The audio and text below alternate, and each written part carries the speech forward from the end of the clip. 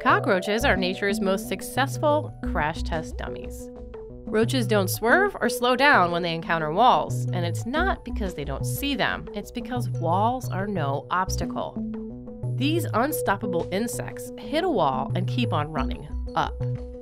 They use the force of the collision to launch themselves vertically, a process that takes just 75 milliseconds.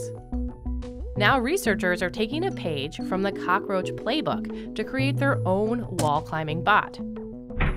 Most mobile robots deal with obstacles by sensing and then dodging around them, but this decision making process slows them down and limits their ability to perform high speed tasks.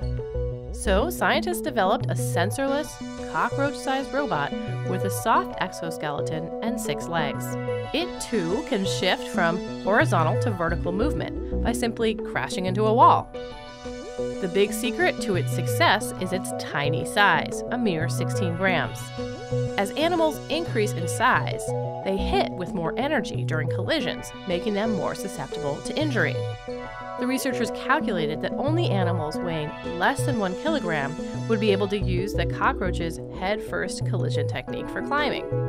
Sad news for real crash test dummies who had better just keep buckling up.